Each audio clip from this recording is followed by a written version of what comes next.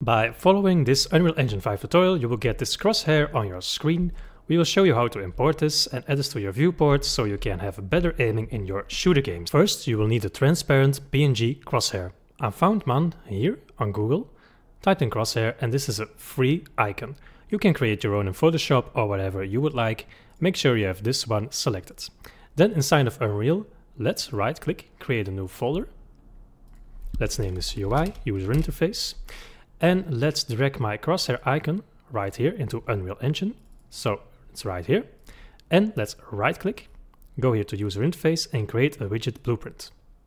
User widgets, and let's name this one HUD. Okay, open up the HUD. I like to dock my window right here. Then here we are going to look here for canvas panel. Let's drag in the canvas panel on the HUD so we can see the screen we already had in Unreal Engine 4.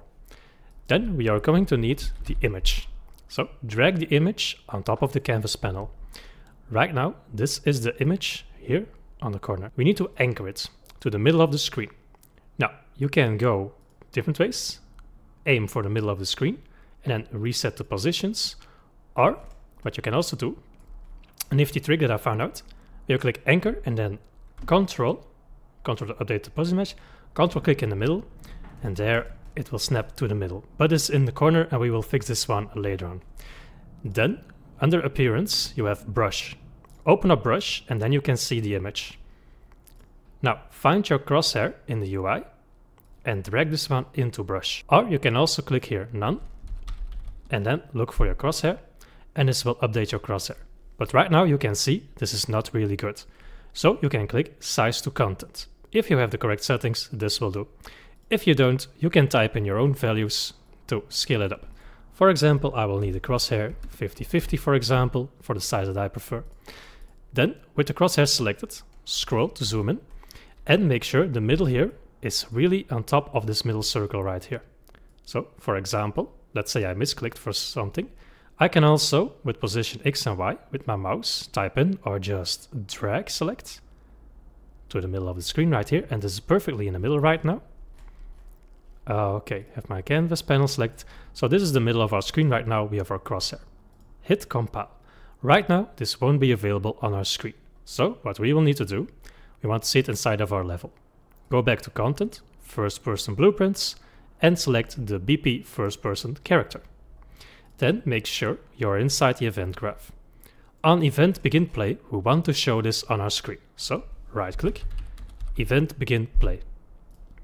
We're going to create a widget when the game is created. So create a widget. And here underneath class, select your widget, namely the HUD that we created. And also add to viewport. Make sure the return value is also the target right here. And right now, when I hit play this new level, you can see this is on top of my screen. And then I can shoot my balls like this with my new crosshair.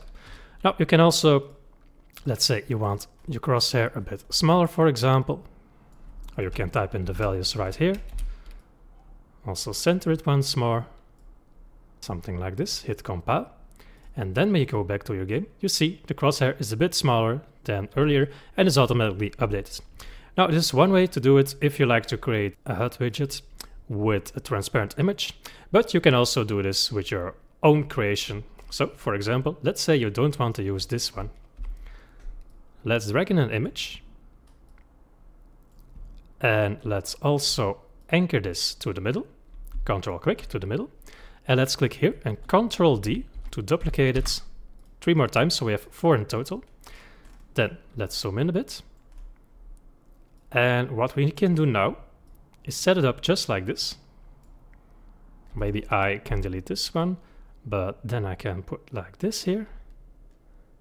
Okay, and then duplicate the one that I have selected. Put this one here.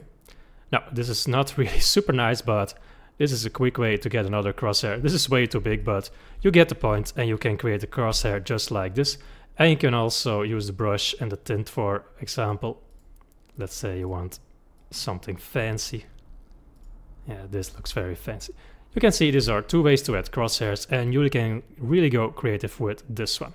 Okay, more helpful tips like this one, subscribe to the YouTube channel and you will see whenever new ones go live. Bye bye.